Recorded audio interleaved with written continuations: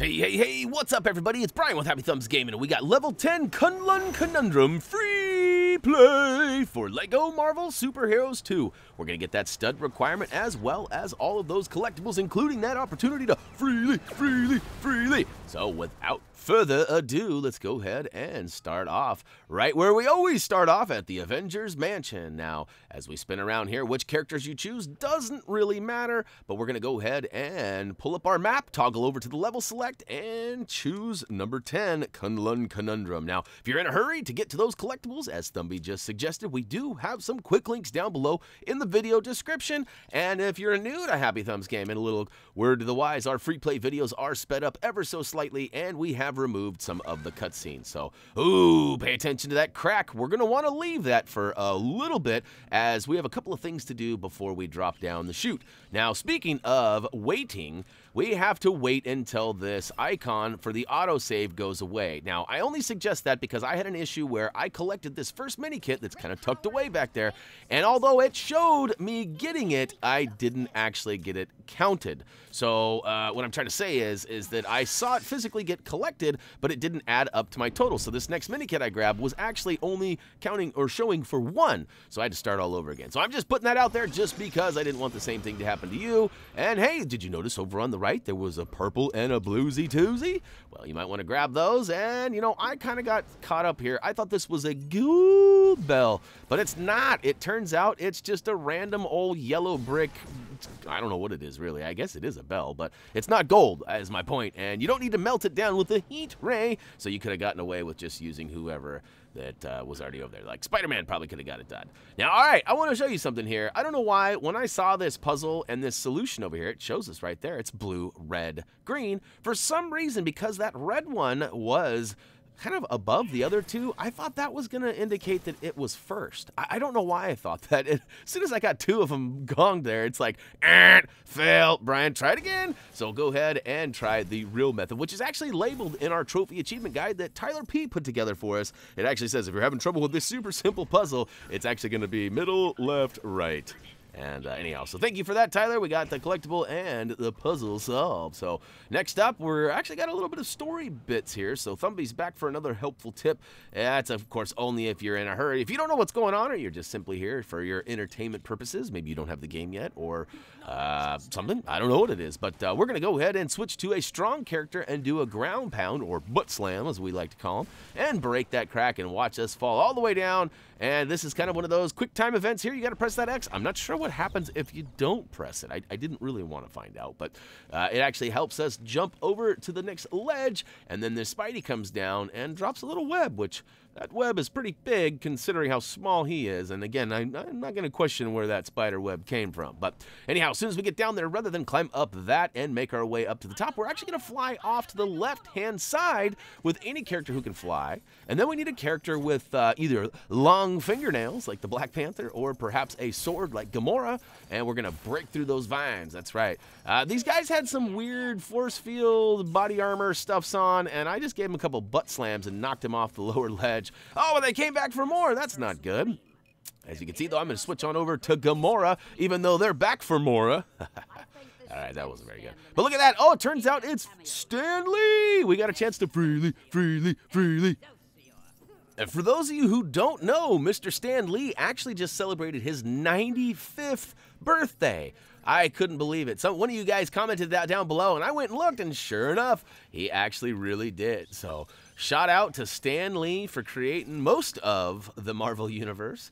And uh, yeah, and not only that, but for also making it to 95. You know, that's crazy. My grandfather is actually 93, so he's right behind him. But as I already mentioned, uh, he doesn't know who Stan Lee is. You know, those times were a lot different back then.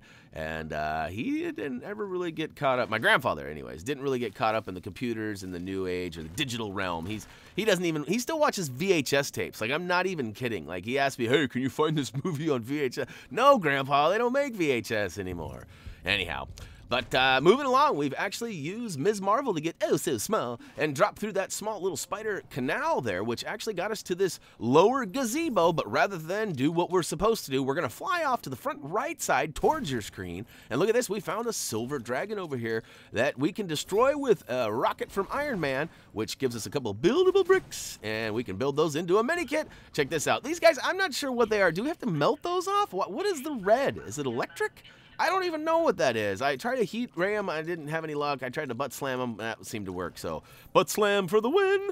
And hey, you know what that means? We got another helpful tip from Thumby, meaning that there's going to be some story-based elements for the next minute or two. So, uh, meanwhile, we're going to go ahead and, uh, yeah, we'll do those story-based elements, I guess. We need Ms. Marvel down below. I'm having a heck of a time getting the character selection back down there. Sometimes, that, that's, I guess that's been one of the only real flaws that I've ran into. I know some of you have complained about, like, loading and things not being there, and, and unfortunately, a lot of you have reported those things have been on the Xbox. So I don't know if there's something different about the versions, or if, if that's just purely coincidence, or what. But hopefully, you know, everybody these problems will get sorted out soon. But yeah, I, I definitely have a problem with the character selection. Like when I'm Spider-Man or Iron Man or a character that has multiple phases that requires a couple of button. Sometimes even though I'm pressing that character change button a couple of times, it doesn't work.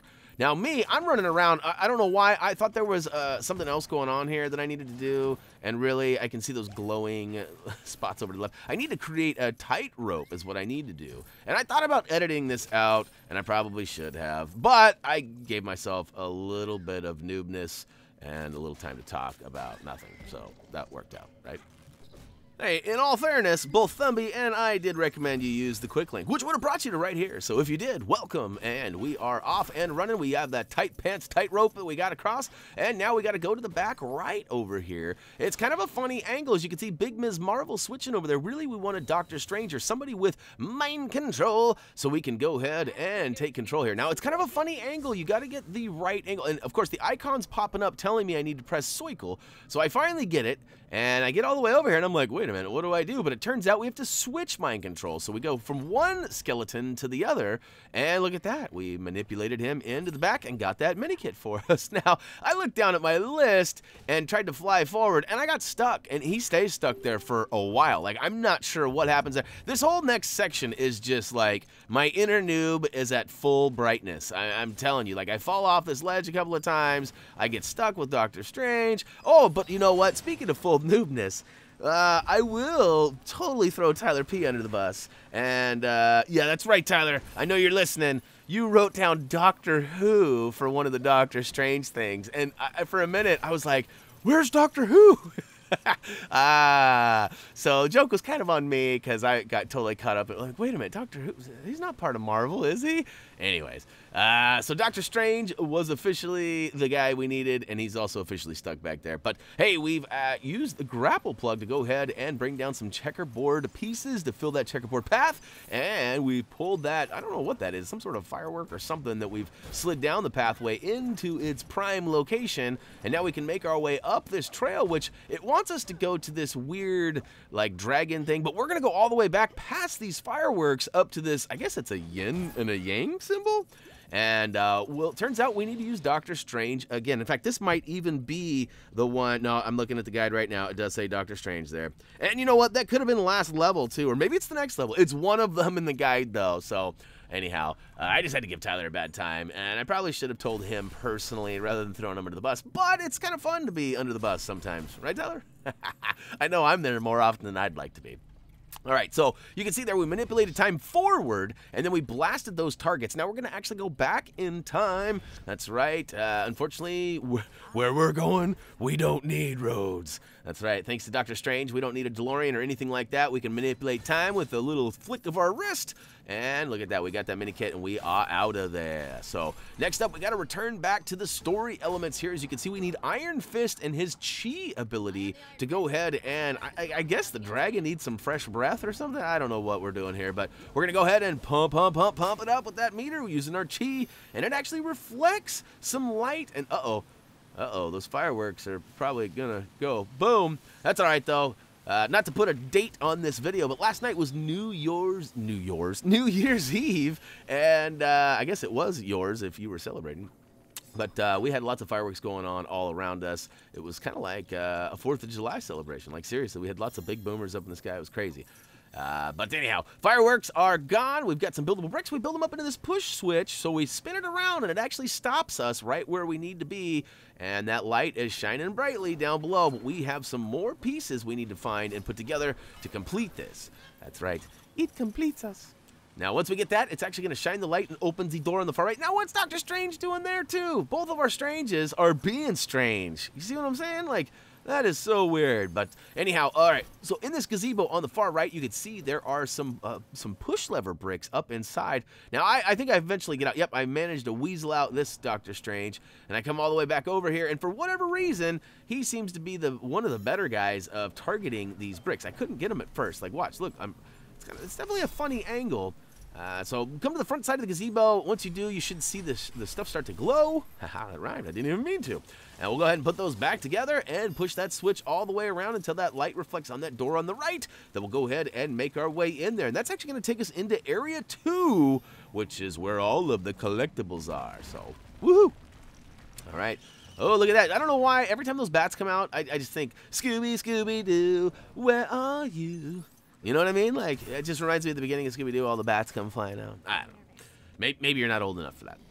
Oh, dragons! All right, so this is pretty awesome. We got Steel Serpent here, and we're just going to totally ignore him, at least for right now.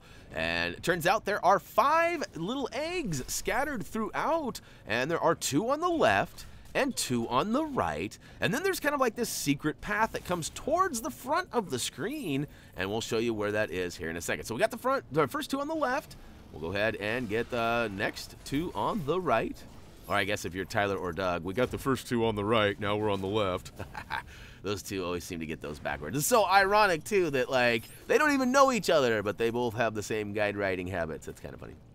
All right, uh, maybe it's me. Maybe maybe something that I do makes their their wording backwards. Anyhow, uh, there it is. There's that final one that I told you about. See this little pathway? There is some more action happening on that as well, but we're going to go ahead and pay attention over on the right because we have Doctor Strange out. We need him to manipulate this, like, I, I guess it's a backpack?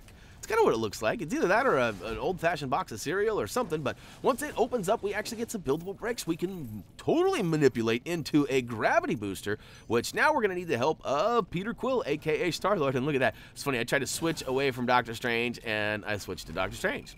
How strange, hmm? All right, all right, I'll try to settle down on those puns. As Reese always says, I'm not punny. All right, we got Peter Quill out, aka Star Lord. He's gonna go ahead and suck that cage in like a tractor beam.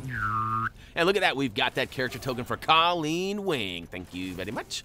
All right, next up, we're gonna go ahead and fly all the way down this path, kind of like we're leaving the area, like we're so so scared, like we're running from from the danger. But uh, as it turns out, we're actually just gonna go collect another mini kit. Turns out there's one all the way at the end. Look at that. So we got eight of the ten. That means there's only two left. We're gonna go ahead and grab both of those right now before getting into the final battle. You know, I haven't been singing very much. I know some of you guys really appreciate my singing, while others immediately hit mute as soon as I start singing. That's the glories. It's the best of both worlds. So I can sing for my people who appreciate the singing, and the people who don't like it can mute it. I guess it all works out. But, uh, all right, back left corner, we've got a little fire we need to put out. So we'll go ahead and pull out Captain America and gets to stamping with his shield. And that leaves a few bricks behind, and we can build those up into number nine. That worked out rather nicely. All right, next up, last but not least, I guess, uh, on the right-hand side, we've got this pile of bones. Them bones, them bones, them skeleton bones. Go ahead and do a butt slam on them, which is going to reveal a pile of stinky bits. We'll go ahead and dig them up to see what's there, but not before doing a crazy, like, suplex WWF maneuver there. That was insane in the membrane. And look at that. We've gone ahead and dug up this ghoul chest. Now, it actually required Iron Fist. It showed that character, but it turns out Iron Fist can melt gold too. I, I didn't know that, to be honest with you. I thought his chi was a little different than heat. But uh, apparently he brings the heat too. So look at that. All 10 mini kits are officially ours. We did freely, and we got the character token for Colleen Wing as well. So pat yourselves on the back if you followed along, because we have officially completed this level. All we have to do is take out the boss or use the save and quit option and that will go ahead and save all the collectibles you've gathered and take you to the final total screen. Now, do by popular, my, wait, Due by popular demand? That doesn't even make sense. Uh, due to popular demand, there we go. That's what I was trying to say.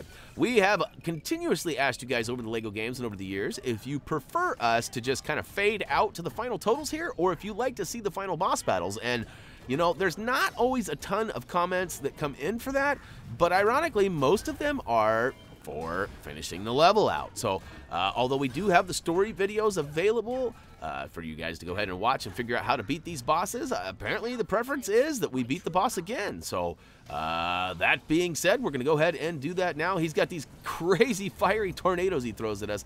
Not very cool. It is the rule of three. We got to knock that health meter down to a certain spot, and he'll throw this fireball at us. We got to avoid it for a little bit. He sends a few baddies after us, including himself. We'll go ahead and give him the old pow right in the kissa. Now, I chose Thor because I feel like Thor is a little stronger than most characters. Now, I still have no idea. I would love to know if some characters can do more damage than others. Like, like do rocket raccoons, uh, grenades do more or less damage than Iron Man's rockets? Or are they the same?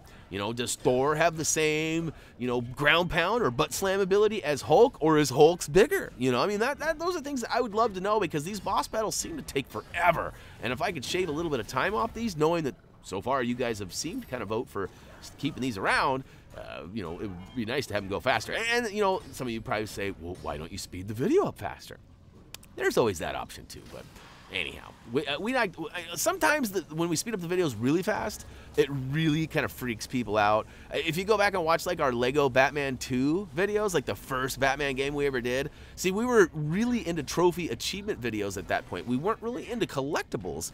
And, you know, so we were kind of learning and trying to figure out our formula. And some of those videos were like 45 minutes long. And going from a two to four minute video for a trophy achievement showing you how to do that to a 45 minute, that was crazy. So I sped things up and it really scared a lot of people. I'm sure I, I lost a, a, a whole bunch of potential subscribers as a result of that. So I try to keep it, you know, pretty calm, but at the same time, it's ever so slightly sped up. So, oh, and look at that. As I have been flapping my yapper, I have depleted that meter almost all the way to the end. And hey, a uh, little quick note there. If you haven't checked us out on patreon.com, you should probably do that.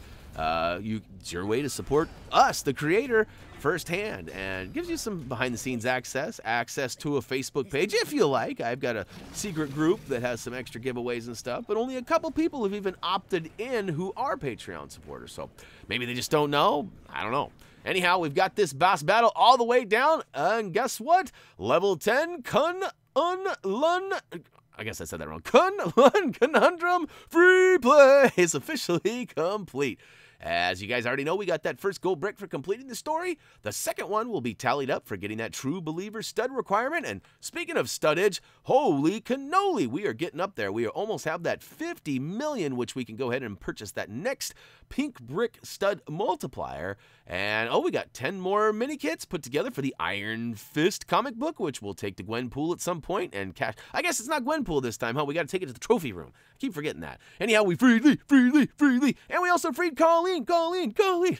so we got both of them, and guess what? That's going to wrap it up again for LEGO Marvel Superheroes Level 10 K'un-Lun Konundrum Free Play. Hope you guys enjoyed that. Now, if you haven't already, please check us out on social media. We also have a Thumby must-see video, and if you're into trophy achievement guides, we've got plenty over at HappyThumbsGaming.com, as well as other videos and stuff too.